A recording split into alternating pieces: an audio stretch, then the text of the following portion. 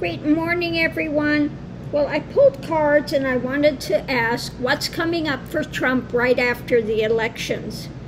And the overarching thing is what is dawning. What's on the horizon for Trump? And I think the center thing just tells it all. Um, he will be in absolute feeling of isolation the detachment that his heart's been ripped out, okay? And that's only going to strengthen.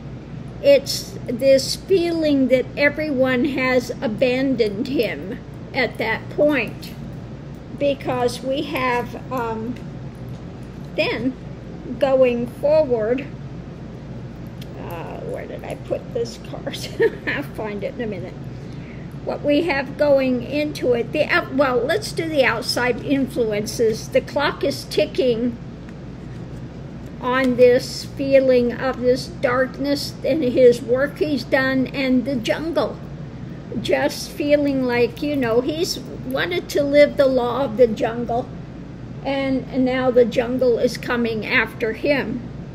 Because coming into it, we have the territory now, I think that this is all of those involved as well into the um, the Magatonian stuff, the territory of that, that the seed has been planted. And we have here the presidency. Now, I think that this also can many times for me represent, if it's a negative, the jail, jail system so the seed is planted in the territories of jail. Okay? So we're looking at jail time at that point, not only for him, but for many of these Magatonians that have perpetrated and attempted to perpetrate the overthrow of the government. Okay? So what we have following that is the growth a growth of this competition. Now, in this case, he is not the bear, he is the rabbit. He has been caught and he cannot get away.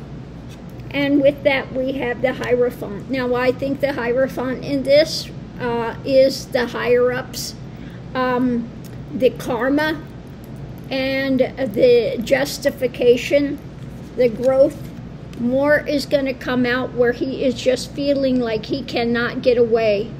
Um, the bear, I just see the bear as these lawsuits and the other things that are happening, and he is the scared little rabbit that cannot get away anymore. And it's only going to continue to grow with that of um, loss after loss after loss of jail time, etc. So that's what I see happening for him if he doesn't try to flee the country. Um, but let me just get the things and see. What about him fleeing the country? Let's see what it says. Oh, you want... No, you just leave Humpy Bear down there. He's squeaking he wants Humpy Bear.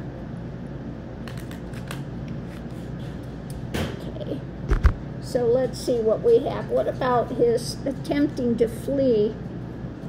Well, it's definitely uppermost, could be uppermost in his mind, but it could also be that they are aware of it. We have the Repub Republicans, okay? And this, yeah, no, so it looks like that, uh, that, that they would be aware of it, okay? The action, mental action about that, that they are aware that he would attempt. But again, he's got all the Secret Service and things around him. Uh, for him to flee is not easy, okay? Um, he may be uppermost thinking about it, trying to plot it, trying to find a way around it, but uh, Secret Service could be a benefit and could it could be a loss for him.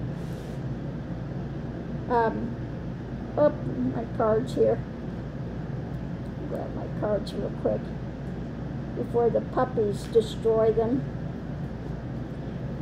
He's caught, you know, he, he's surrounded by a secret service. Now, they may be there to protect him in sometimes, but also they are monitoring him. He will be heavily monitored the whole time. So for him to try to escape, yeah, not easy. So I, am sure that at that point they will be watching him like a hawk to make sure that he does not, uh, is not able to travel out of the country. So thanks for tuning in.